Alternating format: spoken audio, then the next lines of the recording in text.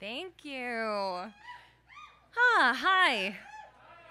I'm Jessica Hansen. I'm so thrilled to be back for my second Odd Salon and perhaps to give all of you a damn good Burking tonight. Um, to understand why you probably don't want a Burking, let me take you back to Edinburgh in the early 1800s. Edinburgh was the place to study anatomy and science, anatomy. Uh, students were flocking there to dissect human cadavers. So, as the demand for human cadavers was on the rise, unfortunately, new laws meant that supplies of cadavers were severely restricted to a very few per university. This gave rise to an illicit black market in human bodies and a new class of what we in SF would call entrepreneurs. known as resurrectionists or grave robbers, who could make as much from, from one fresh human corpse as they could in a year's worth of honest labor. While scientists were willing to pay these grave robbers big bucks for a human corpse, rich people were unfortunately willing to pay big bucks to keep those corpses in the ground. They were paying armed guards, renting big slabs of rock to put over their graves until bodies decomposed, or buying these big weird cages to bury their coffins inside. Rich people were basically ruining everything. and they were making it very hard for grave robbers to keep up with that growing demand for human bodies.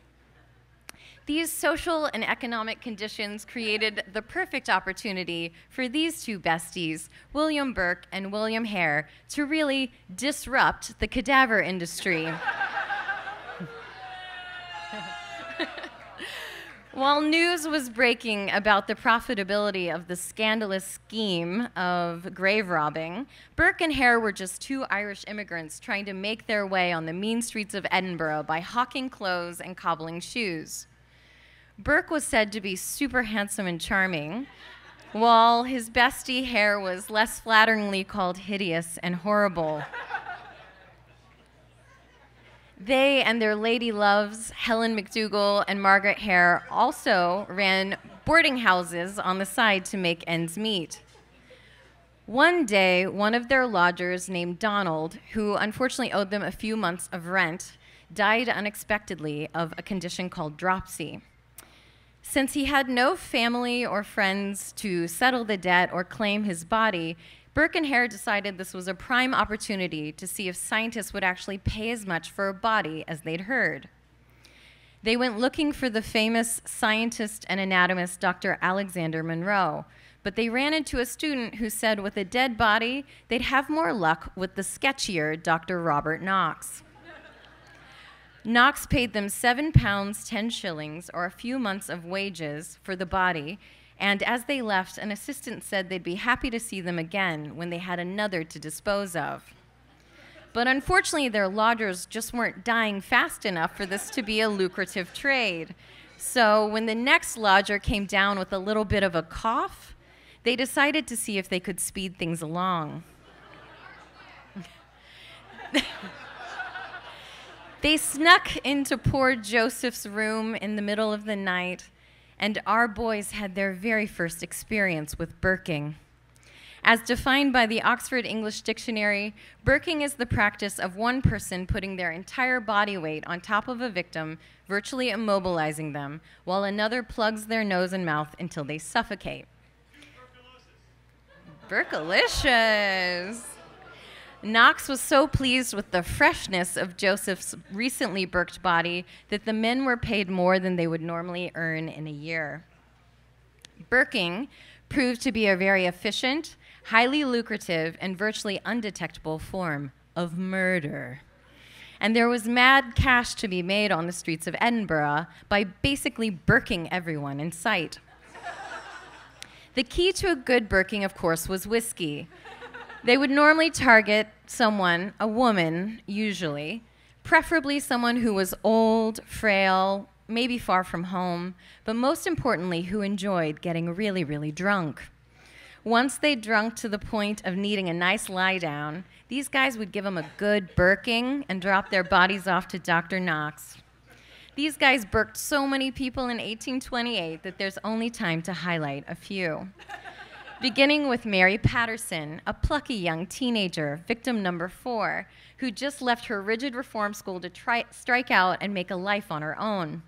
It was early on the morning of her first full day of freedom that Mary and her friend Janet ran into Burke at a whiskey shop, which was apparently a super normal place to start your day back then. Burke lured these lovely ladies back to his house with the promise of breakfast and whiskey. And when Burke's lovely lady, Helen McDougal, showed up a few hours later, Mary was already passed out drunk on the table, and Janet said, Whoa, you're married? I am out of here. When Janet finally came back a few hours later to find Mary, unfortunately, she was gone. She was already being pickled in Dr. Knox's dissecting rooms.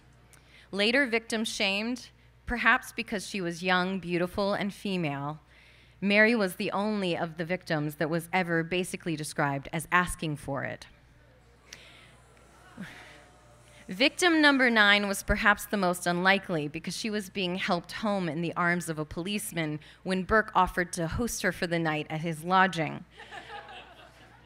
Victim number 13 was a local laundry lady who I probably should have skipped for the sake of time, but I find her particularly tragic because the monsters made her do two full days of their laundry before they burked her. Victim number 15 was Daft Jamie, a well known and well loved young man in town who had both physical and mental challenges, including deformed feet that made it difficult for him to walk. Jamie didn't like drinking, so unlike the other victims, he was both sober and strong and put up a valiant but futile fight for his life. Word had already spread around town that Daft Jamie was missing when some of Dr. Knox's students said they thought they recognized him on the dissecting table. Dr. Knox decided this particular cadaver needed to lose its feet and face immediately, and its dissection should be expedited. That brings us to their final burking on October 31st, 1828. Some of Helen's relatives were visiting, but they were asked to move to a different lodging for the night so that the men could entertain a woman named Margaret Docherty in town looking for her missing son. Upon returning the next day, these nosy in laws found Docherty's body in a pile of straw, refusing a sizable donation, or donation, a bribe, a donation, uh, for their silence they returned with the police, and unfortunately, the body had vanished. It was found later in Dr. Knox's dissecting rooms, and the police got a sneaky suspicion that there might be more victims. As details of Docherty's death came out, others came forward, like poor Janet, who had never given up looking for her friend Mary. But the forensic science didn't exist to prove that Docherty had been murdered.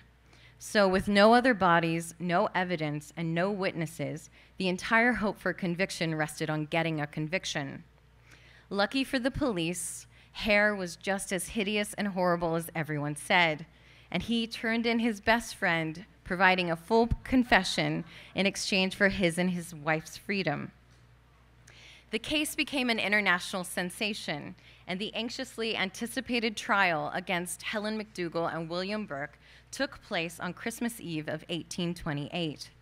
After over 24 hours straight of testimony, it took just 50 minutes to convert, convict Burke, and the judge sentenced him to both death and public dissection. Over 40,000 people gathered in the streets of Edinburgh to see him hang on January 28, 1829, and then publicly dissected by Dr. Alexander Monro, the man he'd been searching for only a year before. It's perhaps poetic that Burke's blood, like that of his victims, ended up on the hands of the anatomists. Burke, too, proved more valuable in death than life. His skeleton, his death mask, and a pocketbook made of his skin that was recently valued as priceless by the Antiques Roadshow all remain on display in Edinburgh. Helen McDougall's involvement was never proven, and while she and the Hares remained free, they all met angry, violent mobs of outraged people as they tried to flee Edinburgh, and their fates remain unknown. The police couldn't prove that Knox had broken any laws, but the public had pinned him as the ringleader, and a rhyme began to circulate. Up the close and doon the stair, button bin with Burke and Hare. Burke's the butcher, Hare's the thief, Knox the boy that buys the beef. He resigned and moved to London, and dying of natural causes in 1862, he refused to donate his body to science and was buried intact. As Sir Walter Scott observed, a wretch who is not worth a farthing alive becomes a valuable article when knocked on the head and carried to an anatomist. Burking inspired many plays, books, and later films, and even some very creepy murder dolls that were found in a cave shortly after. But most importantly, these murders provided the political push needed to pass the Anatomy Act in 1832, which provided a ton of bodies for science and eliminated the need for grave robbing and burking by basically stripping poor people of any rights to their own bodies after death unless they were claimed by a loved one within 48 hours.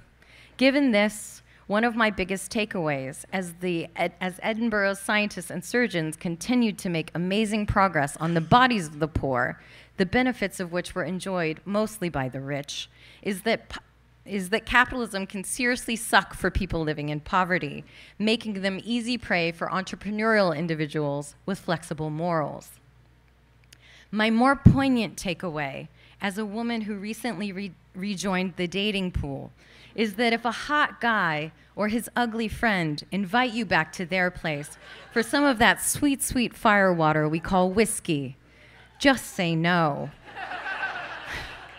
Unless you're up for a night of rough burking and don't mind ending up on a dissecting table by morning.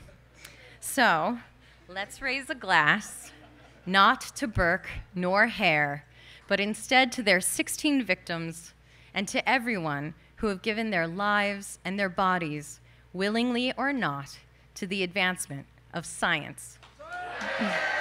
Thank you.